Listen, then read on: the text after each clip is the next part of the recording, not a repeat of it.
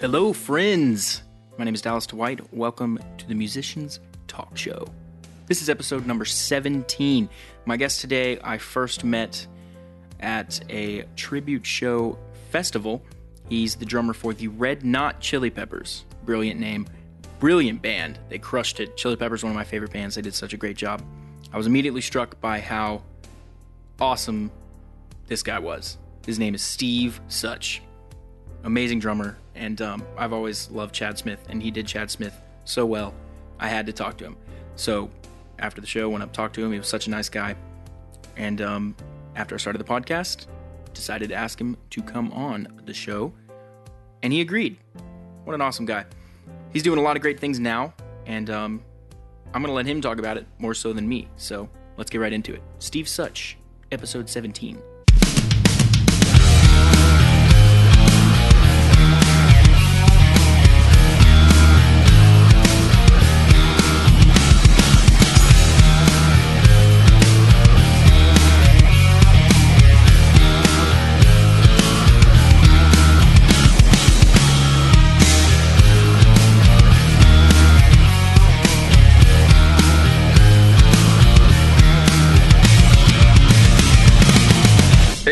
How's it going? It's going well. What's going on out there? Nice. Oh, not much. I'm uh I'm in Central Park right now. Oh, nice. You're in New York. Yeah. Is that where you're uh, living now, or? Um, for the time being, I'm uh I'm playing drums for Rock of Ages right now. Oh, nice. How'd you get that gig? Um, oh man, it's uh it's kind of a long story, but yeah, it's uh kind of just kind of just happened, you know. Mm-hmm. So. Um, the drummer backed out at the last second, and then I kind of got it. But yeah, man, how are you doing? I, I, I, I forget like exactly how we met. Um, We met at that um, uh, Alabama amphitheater doing that tribute festival thing. Oh, nice. That's that's right. Yeah, that was an awesome show, man. That was an awesome show. Yeah, that was a lot of fun. I actually wanted to talk to you about um, who, kind of what your thoughts are on tribute bands. I mean, being in one yourself, you have a more unique perspective than most people. Yeah, no, I I absolutely love uh, um, you know being in a tribute band. It's definitely not something that I ever thought that I would be doing. Um, Mm-hmm. you know, when I went to music school, I, I never thought, you know, my teacher never said, hey, like you could, you know, be in a tribute band someday.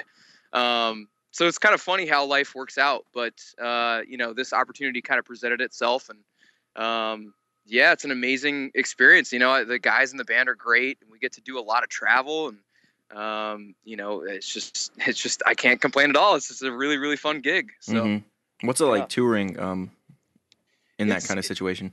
Yeah, it's really fun. Um, you know, a little bit about us. We're kind of unique in the fact that um, all four of us we have kind of different things going on. So, um, you know, for example, like the bassist, he's uh, he's actually a nuclear engineer for the Navy. So, you know, he's got a full time gig. Um, our singer, he's uh, he owns a, a fitness company. He owns kind of his own startup, and so he's really busy with that. And you know, Mark is is a musician. I'm uh, you know a full time musician as well. So we all kind of have different things going on, and because of that, we're not really able to kind of do a full time uh, touring schedule. Um, we basically for the past few years we've been um, kind of traveling on the weekends, which has actually been really nice. It's been kind of fun because we can do our, our own thing, you know, in San Diego, and um, and then you know maybe Thursday or Friday we fly out to wherever we're going to go that weekend, and you know we have an awesome time out wherever we are, and and then we come back and and and go back to uh, sunny San Diego. So hmm it's uh it's actually a really cool kind of uh, situation you know I, I almost prefer it to to the you know the constant traveling kind of thing so um, it's kind of a nice balance Yeah, definitely. How did you guys actually um, start that band? well uh i actually kind of joined the band a little bit later. So the the red knot chili peppers uh, um it- as a band it's it's been around for about seven maybe eight years i think. Mhm. and uh, jonathan savage who's the, the again he's the bassist um, he started the whole thing. It's it's his baby. Um, he's kind of been there from day one. It was his idea. Um, and then you know there's there's been different kind of lineups along the way. And uh, you know i i joined about maybe three years ago um, and it's actually kind of interesting how it came about. Um, it was completely random. Uh, I was just on Craigslist of all things at like 3 p.m. on a on a, you know I was at work and it was like 3 p.m. I had like an hour left to go in my shift, and I was like, yeah, maybe I'll just check out uh, Craigslist because you know I just moved to San Diego. I didn't really know anyone. Mm-hmm. Um, I was you know eager to play, and I saw a Craigslist ad, and basically, um, the the drummer at the time he kind of uh, he just kind of left town like immediately, and it was kind of a weird situation. Um, and so they had a, a tour coming up that weekend, and they needed a drummer, you know, as soon as possible because it was kind of a big show. And so they had kind of a cattle call audition and that was like the first one I've ever done where you know there's just like all these drummers like kind of waiting outside and you know it's kind of a an interesting experience. And um, you know I had to prepare a few tunes and um, I walked in and you know I was prepared and, and I did it and it worked out. And and the next thing you know like a couple days later I'm I'm out with them and you know I had to learn like 20 tunes. Uh, you know luckily I knew most of the tunes but you know um, but yeah, man, it's just kind of crazy how it works. Like if I hadn't gone on Craigslist, you know, like randomly, I I probably wouldn't have seen that. And you know, my life has has completely changed because of that. So it's Mm-hmm. kind of weird how life works, you know. Yeah, definitely. How do you approach learning a large number of songs in a short amount of time? Oh man, that's a great question. I I love this question because um I feel like a lot of people, especially in the kind of the the rock genre or whatever, they don't they don't really do this. But um, I'm a huge fan of charts. I love charts. I know it's kind of a you know there's there's mixed feelings about it. Um, but for me, I feel like it's so efficient to do charts, and that's how I survived that that weekend. You know, I told you I um, basically I auditioned like on a Wednesday, and then on Friday I was, you know, I was doing it. So there's no way that I could have gotten through that gig if I didn't make some sort of a you know reference sheet. So like I'm not making full you know detailed charts of every single note, but what I do is I kind of make uh, structured charts that make sense to me. You know, it doesn't really have to make sense to anyone else, but as long as it makes sense to me, um, you know, that's all that matters. Mhm. And um, you know, again, I just I can't say enough about uh, chart writing. It's it's saved me um, on you know so many times, and it's also allowed me to do so many more gigs. You know, like there's yeah, there's corp corporate gigs that come up all the time, and it's like, hey man, like we have this like two hour set, and it pays this much. Can you do it? You know, like our drummer's out of town, and I feel like the fact that you you know I I, I can write out a, a you know a chart um, it really allows me to be able to to kind of succeed at that gig and I, I feel like um, you know a lot of people think oh like you should learn everything by ear um, which is totally true but, but at the same time you know if you want to be a working musician uh, i think sometimes it's really important to be able to have those kind of shortcuts hmm um, at least in your toolbox, just in case you need it. So, um, yeah, I love that question just because I feel like I, I'm I'm really you know I'm a huge fan of the the whole charts thing. I, I just think it makes things so much more efficient. So how do you approach these the writing these charts? I mean, what would one of them look like? Maybe, for example, Hypo- hypothetically. Yeah, yeah, yeah. So um, I try to kind of keep it as minimal as possible because um, you know I don't want. I mean, unless it's a really, really uh, kind of complicated tune, um, I just kind of want to have a basic structure. Um, so what I will do is it's more of like a form chart, and I will. It's it's it's kind of I have a you know a set way that I do it, but um, you know if it's a verse, I'll write the letter V. You know, Mhm. um, it, I mean it's not rocket science. It's just this is kind of like how I do it. So right. I you know like V for verse, and I'll and I'll I'll label it. So like V one would be verse one. Um, PC would be pre-chorus. Um, you know, C for chorus, uh, B for bridge, um, and then you know if there's like a guitar solo, I might just write guitar solo, um, and I'll usually write the number of bars underneath that. So if you imagine like a, a sheet of paper, I'll draw kind of like a line, and I'll do you know let's say V1, and then underneath that I'll write like eight, and that tells me that it's going to be eight bars, um, and then I know kind of what's going on, and then Mhm. like texturally on the drums i always try to include some sort of like information so like um you know on the top left of the chart let's say it's like a funk tune i'm gonna write like funky or like some some like word that gets me in that vibe because again if i'm on that corporate gig and there's like 30 tunes like you know maybe I, I just need that like refresher i need i need to know like oh this is the vibe that i'm going to be doing for this song Yeah. um, so I try to give myself that information. Um, you know, I, I also include like hi hat or like a ride cymbal or Um, you know, if there's like a really important bass drum pattern, I'll make sure I actually write that out. Um, you know, any hits in the tunes, I always write that out. Um, so you know, it's it's useful to have those kind of like, um, you know, being able to read music is is really important because of again things like that where um, it would take you hours and hours to learn these tunes.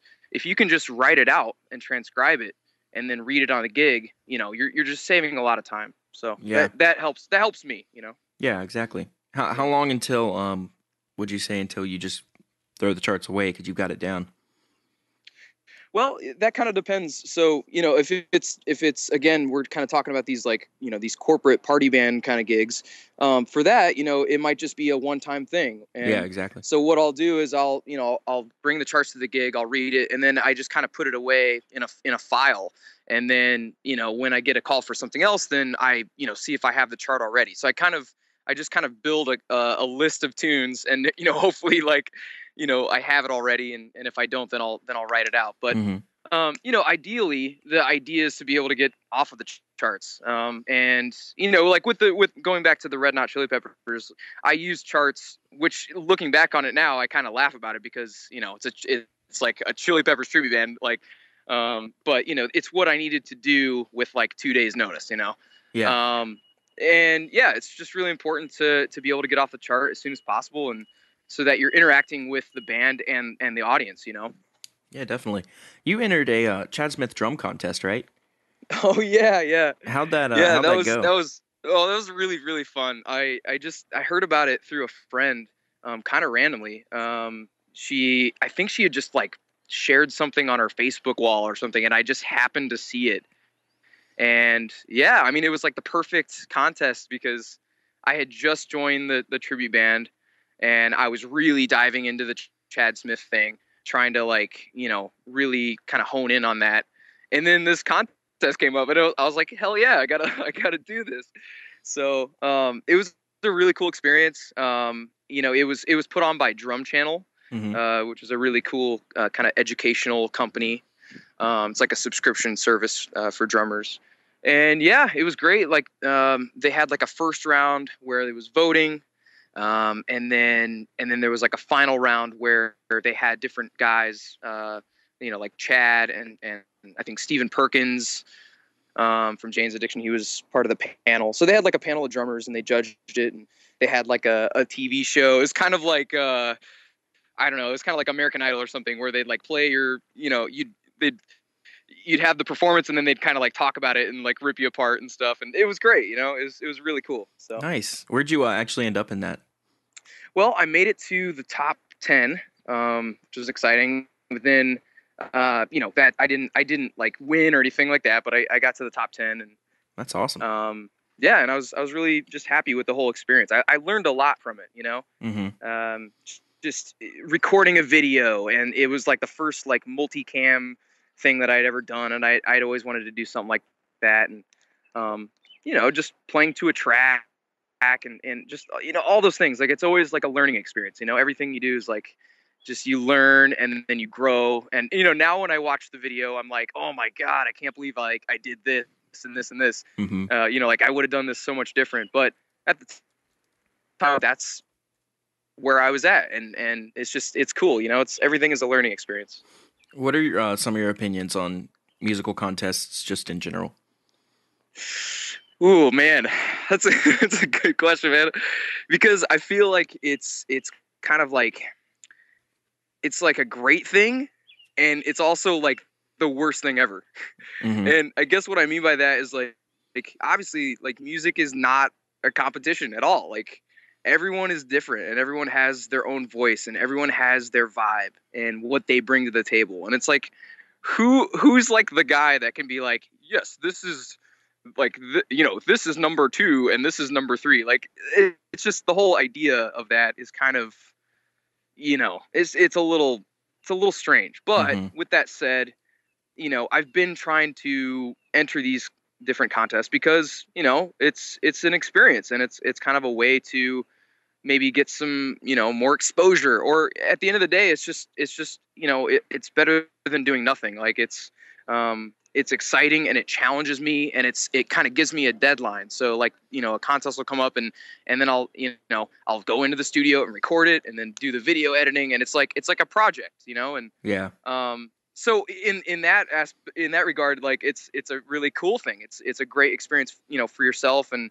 and uh and then you get some cool like you know promo out of it or whatever. So there's like benefits to it but uh, again kind of back to the just like like philosophically you know, i i think some people get caught up in like what is the best? And like you know who is the best this? And and i don't think that music should necessarily be approached that way. I think we all have something to bring to the table. Mm-hmm. That's awesome. You mentioned uh, earlier you're doing the rock of ages thing. Um how, how exactly did you go about getting that yeah so this is kind of an interesting uh, kind of thing um, i I actually worked.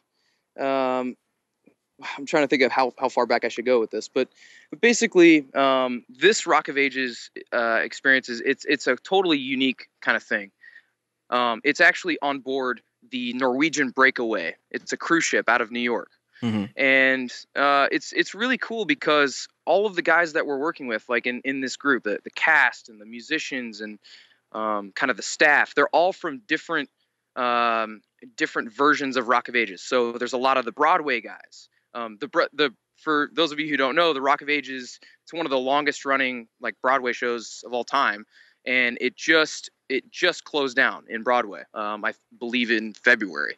And so, you know, there's some Broadway guys uh, in in the band and in the cast. There's also some Vegas guys. The, the Vegas show is still running. Um, there's a guy from the Toronto tour.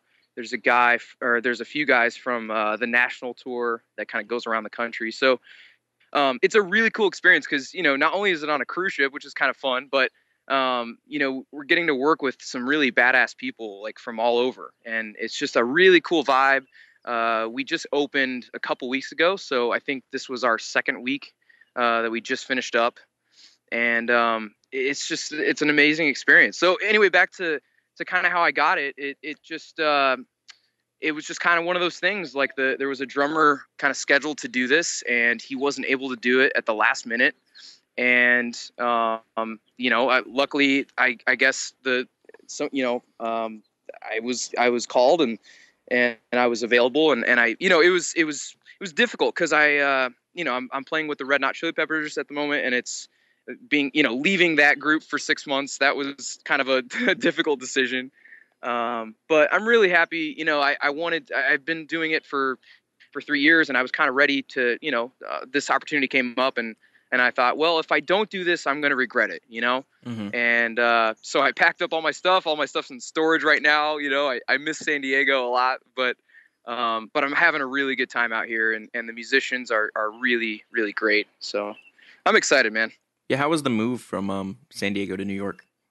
Well, uh, yeah, I mean, it's it was kind of it all happened really really fast because I I found out about the gig um, maybe with a month's notice. And to kind of complicate things, um, with the Red Knots, we we actually went to Tokyo um, about three weeks ago. I want to say, so it was it was kind of a it all came up at the last second. It was like, like oh shit i like this gig came up and then now i've got to like move everything out of my apartment and and we're going to tokyo and so it was kind of like a scramble at the last minute you know to get everything in order but but yeah it all worked out and and uh, here i am now so that's awesome are you um using a click track live most of the time or none of the time or yeah yeah um so this this show is all click and um it's really cool i love working with clicks um, just because it, it's like super consistent. Um, and you know the reason why there needs to be a click is uh, there's a lot of there's just a lot of things going on like on stage. There's like lighting cues and there's vocal cues and and just things have to be like what I've learned so far from this gig is it's all about like consistency. Like whereas with the Red Knots, um, you know, I'm kind of like improvising and we're jamming on stage and kind of like feeling what's going on. Whereas with this gig, it's all about like, can I play like the same way every single night and make it so like clear and and like every fill is like you know the same like play it the same way every single night and that has been a huge challenge for me. You know, it's it's like it requires like this new level of focus that you know it's it's it's like a test of you know your musical maturity just to be able to play like you know blah boom dig it doom oh and like always commit to that fill you know what I yeah. mean um it, it's it's it's cool it's a really cool challenge so yeah it's everything's to a click Awesome. Is that with uh, all the musicians have a click or just you? um everyone has uh, a click and um, I'm really stoked, man, because this is actually the first gig I've ever had like in-ear monitors, Mm-hmm. and so it's a really cool setup. Like I've I've always had like the wedge on the side, but um, they gave us in-ear monitors, and then we have our own mixer. Like so, each of us has controls for everyone on stage. So um, it's really cool because I don't have to like you know eh, like hey, could I have more bass? You know, like I can just do it like right there. Um, so we all have like our own mix, and we all have a and we can kind of adjust it as as needed. Nice. Well, kind of going back to the beginning, how did you actually just get started in music? Oh man, so um, I got started uh, around kind of like the end of grade school, and I I don't come from a musical family, um, but with that said, like my dad always was was playing music in the house. Um, so I kind of had that going on in the back of my mind, but I wasn't necessarily into music yet. I was just kind of like absorbing it, I guess. And uh, so when I was in grade school, um, my best buddy, uh, his name's Ben. Um, at, you know, at the time, we we were hanging out all the time. Like we we're we we're you know just doing everything. Like it was always like we're always hanging out. So um, his mom was actually the like the music teacher um, at the grade school. So you know, again, like their their household was super musical, and you know, I was I was kind of by hanging out with him, I you know I was around her, and she was you know very inspiring. She was like super, just always got me pumped about music. And um, so one day, she I guess she bought Ben a drum set, and you know, I came over, and he's like, "Dude, I got this drum set." And I was like, "Cool, man!" Like I'd never really touched drums in my life. I never really thought about drumming. And I was like, "Dude, can I play it?" And I sat down, and it was just like from then on, I was like, "Oh my god, this is like the coolest thing ever." And yeah, that's kind of how it all started, I guess. Um, I haven't really thought about that in a long time, but that's I, I would say that that's like how it kind of, you know, that was like the first time I ever played drums, and it was just ever since I've just been I, I just love drumming, man. How did you um develop? I mean, what was the process from you first touching the drum kit to being able to, you know, play on stage and stuff? Well, um, kind of like the way I guess my my brain works or whatever is I'm just I'm very like once once I'm into something, I I like obsess over it and I I really like dive into it. So after that moment, I was just like drums, drums, drums. Like all I want to do is drums, and uh, so I went to at this point I was like getting ready to go to high school, and I decided like all right, drumming is really cool. I want to check this out. So um, I you know I signed up for like band class and I I did the whole the whole thing. So I did like uh you know the uh, like the wind ensemble or whatever they called it, the concert band. Um, and then I joined. I did marching band. I did. I was like a total band geek. I, I did like drumline and I would do like winter percussion and um, I mean it got to a point where like I what I did was I, I would sign up for by my senior year I was I, I think I was in like two different music classes, and then I signed up for a study hall. And what I did was I became like a teacher's aide, and basically what they did was they allowed me to like practice during that hour.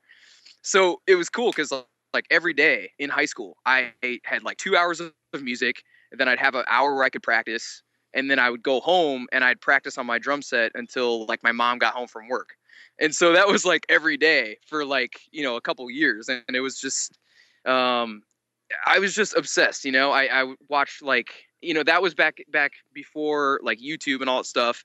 Um, they had these like drumming DVDs, uh, Hudson Music, and and I would just go and like go to Guitar Center and buy a drumming DVD and like learn everything I could.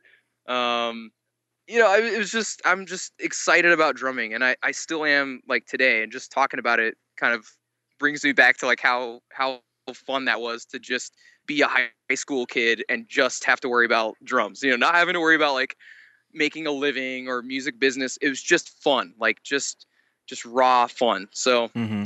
yeah, that's that's kind of how that started. And then uh, at the end of high school, I decided, all right, I I, I think I want to like pursue this as like, you know, what I want to do with my life. So I ended up going to Indiana University, and I got a degree in jazz studies, and that was an amazing experience. I mean, I I, I can't say enough about that that experience. I mean, I got my ass kicked every single day.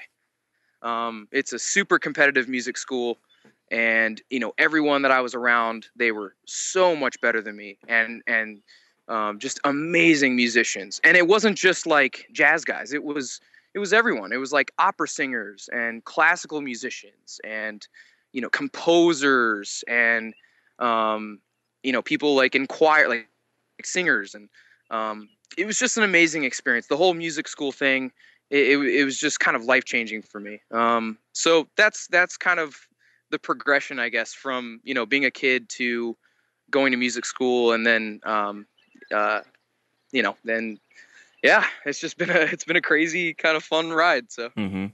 Who were some of your like earliest inspirations, and how have they evolved over time? yeah, there's been there's been like definitely a few. Um, so so the first one is is you know I was I was talking about Ben, my my buddy in grade school. Like his mom was a huge influence because she she was the first person to get me like thinking about like musical things. So like I wasn't drumming at that point. I was like you know singing. Like she was we were like in choir and and uh, I I grew up in a Catholic grade school and um, so we you know I'd like sing at church and things like that. So she she got me. She was definitely a, a huge like motivator um, when I got to high school, I had a teacher. His name's Ed Goss, and he lives in Indy. He's the owner of uh, Bongo Boy Music. And dude, talk about inspiration, man. Like, he's the guy that just made me like just flip out at at different drummers. Um, you know, he he was like, dude, you have to check out this this album, like this you know this Frank Zappa album um, called Joe's Garage, and so he'd like he'd burn the CD for me and he'd, he'd give it to me, and I'd I'd listen to it, and I'd come back, and I'm like, oh my god, you know, and and that's that's Vinnie Colaiuta on drums. If anyone doesn't know that album, you gotta check it out. Like drummers, you gotta check out Mhm. that album. It's it's so so awesome. So, um, you know, I, I've just I've I've been really lucky because I there's so many people that have inspired me like that. You know, I've I've just been around very inspiring people. Um, you know, Ed Goss, um, my my high school band director. His name's Mike Nemec. Um, you know, if it wasn't for him, I, I wouldn't be doing any of this. Like he, he is just another guy where he he's so passionate about teaching, and it just rubs off on you. Um, and if it if it wasn't for people like that, you know, think like I'm just one dude, and like think about how many people uh, educators get to touch. You know, like how many how many lives they get to affect. Um, if he had just like phoned it in and just been like, you know, just going to work and like whatever, like I wouldn't be doing what I'm doing today. So it, it really, at the end of the day, it almost has nothing to do with me. It has everything to do with um, the people that you surround yourself with. You know. Yeah. Um, and yeah, like I don't. I hope that answers the question. oh, that's perfect. Yeah. know. Um, I guess kind of uh, a spin off to that question, or who are some of the um drummers that influenced you? Oh yeah. Well, there's a lot. Um, I guess like my first like drumming obsession was was probably Neil Peart.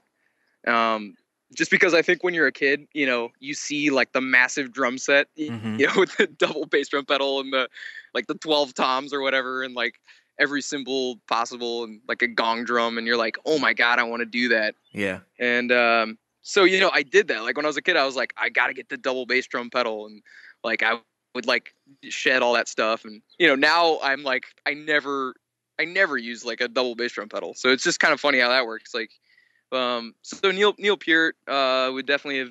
He's like one of the first influences. Uh, Carter Beauford was a huge, huge influence. Like when I was in high school. hmm Um, and then like when I got to Indiana University, I was you know studying jazz, and that everything just kind of took a 180 because I wasn't just listening to, um, you know, like rock music, like the stuff that my dad was listening to. I was now listening to like jazz and like funk and world music and um, classical music and and um, so my my like influences kind of changed a lot. But you know, some people that come to mind like Vinnie Colaiuta, monster player. Like he's the guy that can play with Frank Zappa and do all this crazy shit, and then turn around and play with Sting, and play, and play these pop tunes like more beautiful than any like drummer. I mean, it's just like Yeah. like uh, that 10, 10 Summoner's Tales album is like just it's like a masterpiece of Mhm. like being a pop drummer.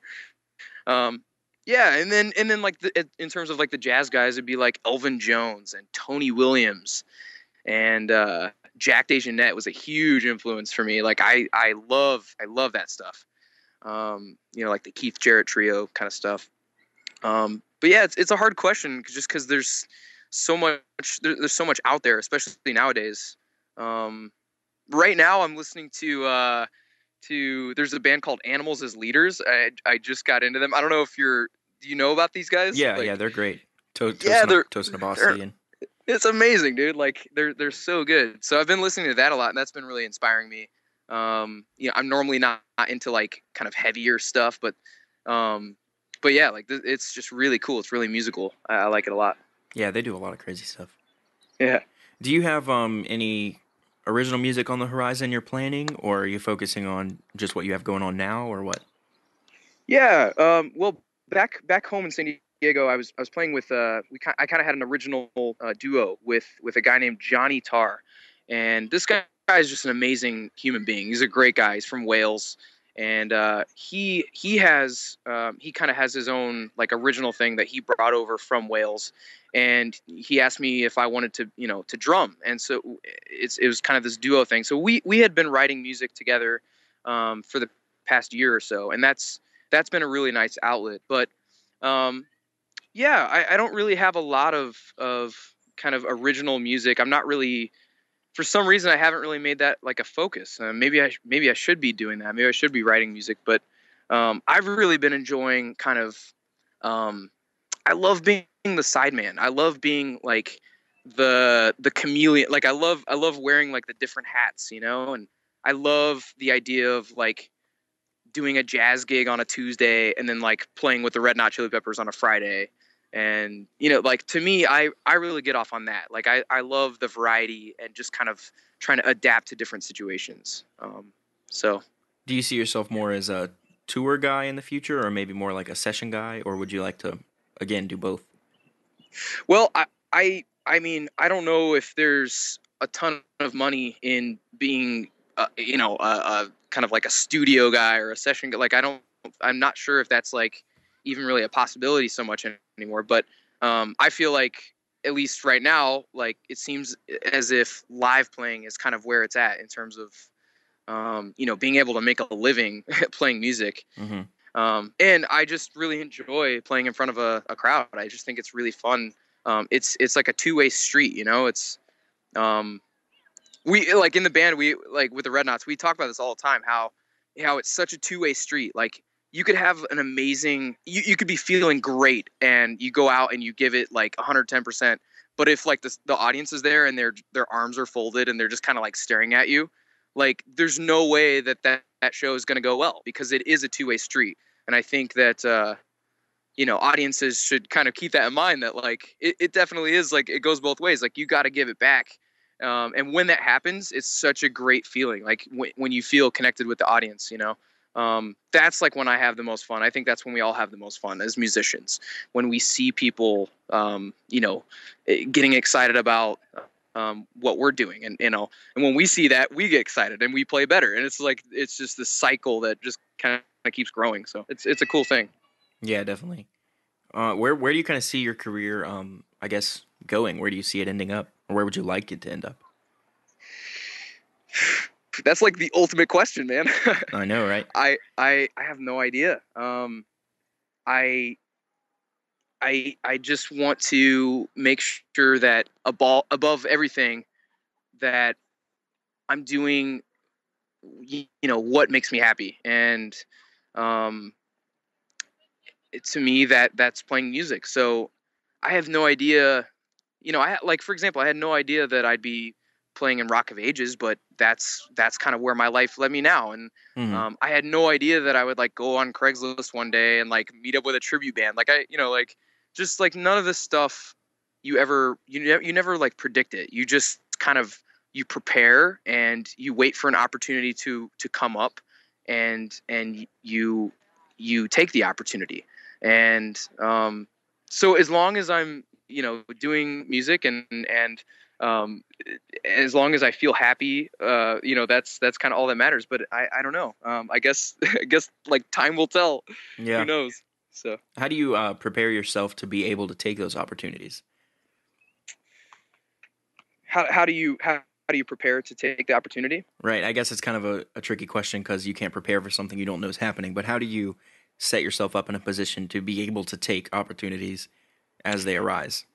Yeah, I think the something that really like pops out at me like when you ask that, that question is i think as a musician especially in 2015 that it's really really important to be able to be stylistically diverse what i mean is like don't just be the rock guy. I mean the you know there are people that say like yeah you should get really good at like one thing and, and let that be your you know your like identity. But i i almost disagree and i, I feel that um, it's really important to be able to do a lot of different things and and the reason for that um, i mean simply is just that it allows you to take those opportunities. So like going back to your question if i had just like taken that like carter beauford dvd and just been like all right i'm gonna be like the next carter beauford and only do that like like i i don't know if if that is necessarily the best course of action. Whereas, um, you know, if I if you learn how to play jazz, if you learn how to play funk like authentically, if you learn how to pick different equipment based on the gig, like um, you know, bringing a smaller kit uh, for a jazz gig, you know, bring like the right the right heads, the right sticks, the right you know, just being able to be stylistically d- diverse and and to be able to be authentic within those styles. Um, I think that that will lead to opportunities. So when those opportunities comes comes up, uh, when they come up, um, you can then take them because you're confident that you can do it. Um, I I, ho- I don't know if that answers the question, but um, you know, I just I, I feel like it's important to be able to um, to do to do a lot of different things, um, so that when it comes up, you're you're ready to do it. You know. What's your process like for learning a bunch of different genres and expanding your horizons? Well, um, definitely the key would be listening to music. Um, I know that like seems like an obvious thing, but I think that like in today's world where we're we're like multitasking so much and we have so much going on and like Facebook and like all these you know just all these distractions um, i think that at the end of the day you know you you can't you can't sound like uh you know philly joe jones if you don't ever listen to philly joe jones. Like you can't you know you can't be a jazz musician if you ne- if you don't know the language if you don't know the vocabulary. Um, it, it's it's kind of like uh, you know people talk a lot about how music and language are very similar and it's kind of like some people say that the best way to learn a language is just to go to the country and start talking to people and like learning how to to say words and you kind of pick up things so much faster. I think the same thing is true with music. You could like read a book on how to play like jazz time and you could like read the sheet music but a way faster way is just to listen to music and be like oh that's like that's the vibe. That's what it's all about. So yeah that's that's a way that you can learn different styles is just listening to the music and you know picking out those things that that um, start to uh, you find you find kind of similarities. You're like oh this is like the vibe that you know if if this is going on in the music like this is kind of like the vibe that, that a lot of drummers are taking. So maybe i can like put that in my toolbox and then when that situation comes up i can you know pull that out. Mm-hmm. Yeah. That's awesome. Um you mentioned that you live in san diego of course and you're now in new york. Do you think location impacts your career in different ways? Just just in general not even necessarily yeah. your own career yeah, yeah. I think it does. I think it does affect. Um, I mean, you if you if you want to be making a living uh, playing music, you kind of have to be where where things are at. Um, you know, San Diego is is not a major. I'll be honest, like it's not a major music city.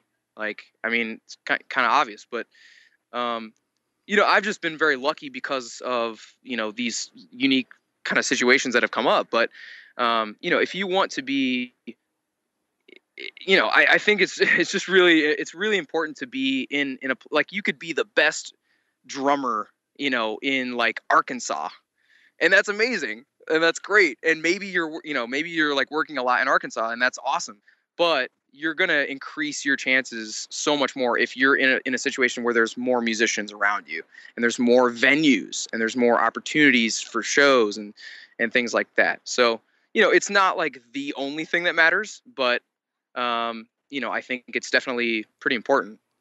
Yeah, it's just one more thing to add to your, you know, I guess toolbox, like you say. Right. Uh, what are your What are your future plans coming up? Well, uh, I've got this Rock of Ages gig until September, mm-hmm. and um, that's awesome, by the way. Yeah, no, I'm I'm really excited. Thanks, man. It's it's a really fun opportunity, and I'm really growing a lot from it. It's cool, but uh, after that, I'll be coming back to San Diego, sunny San Diego. I'm so stoked about San Diego. It's just like it's just the most beautiful place ever. And uh, mm-hmm. so anyway, I'll be back with the Red Hot Chili Peppers when I get back. Um, we, uh, you know, we'll keep traveling, and and um, I'm kind of working on. I can't really talk about it too much, but I'm I'm working on uh, kind of like an educational uh, product at the moment, and I'm really excited to be working on that. I'm going to be doing a lot of stuff in the next couple months. Um, but yeah, it's uh, it's gonna be really cool when it comes out, and and uh, it's just like a fun side project uh, that I've been kind of passionate about, and um, yeah. So I don't know. We'll we'll see, man. Like I don't know. Uh, we'll, who knows what the future holds? Yeah, it seems like with you, uh, you're getting a lot of um, I guess things out of left field that that are really awesome. Yeah, like I feel like I feel like that's how life works, isn't it? Like I feel like that happens with everyone. Is it's um you know just if you think back to your life and you pick you pick one like aspect like you know let's say like like your job or like your girlfriend or whatever like the situation is and you look back and you kind of trace it you're like dude if i hadn't met like that one guy in the coffee shop like he wouldn't have talked to the one dude the you know like it's like it's yeah. just funny like that's how everything works mm-hmm. and when and, you think about uh, it it's crazy to think that anyone reaches any level of success ever because it's yeah, just like it, such a yeah needle in a haystack kind of thing. Well, it, it's funny you, you said that because I just read a book called Outliers, and it's by Malcolm Gladwell, and, and it's actually a really interesting book because it's very it's very like uh how do I say it like it's it's almost kind of like controversial. Basically, this guy says success has nothing to do almost nothing to do with yourself, and like he's saying like like you know talent and um you know ability almost has zero to do with success and he makes all of these arguments like that you know basically it's about who you're around and it's about opportunities and it's about um, luck basically you know mm-hmm. uh, that you know if you're just in the right place at the right time you know and you know and you're prepared of course then you know he basically studied all of these like these outliers. Like in other words he studied all these super successful people and it's like well how did these guys get to where they are? And he he kept finding over and over again that it's not really them. It's it's their situation. It's their parents. It's their their where they're from like their you know their their culture. Um so yeah like it's it's funny like you you kind of mentioned that it's um I, th- I think it's it's all about other people and and mm-hmm. um, at the same time it's it's it's about being a good person. Like being being a positive human being and being excited about life and and wanting to inspire other people.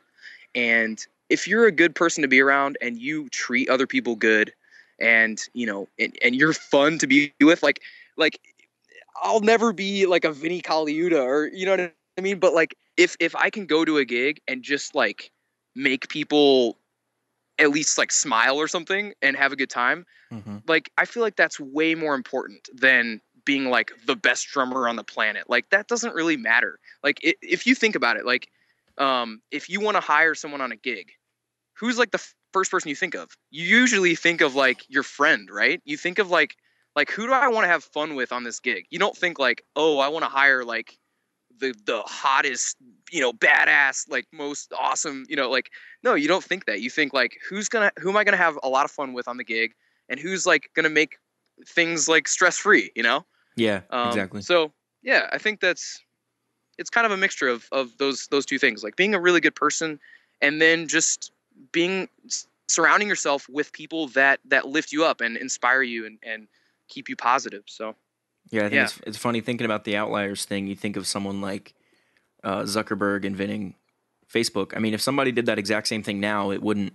It would. It would be nothing. It's just- exactly and that's the that's time. yeah yep it's it's all the timing that's that's kind of exactly what this guy is saying i mean he was talking about bill gates and how um he just so happened to be you know born in that area where era where it was like if he had been a little bit later he would have missed it and if he would have been a little bit early he would have been like too you know it would have been just it just would have been too early for that. And um he kind of goes in detail how like he got access to this like computer that back then it was super expensive to to run this computer. Like you know thinking back like 20 whatever 30 years like he just got special access to this room that he wasn't supposed to have access to.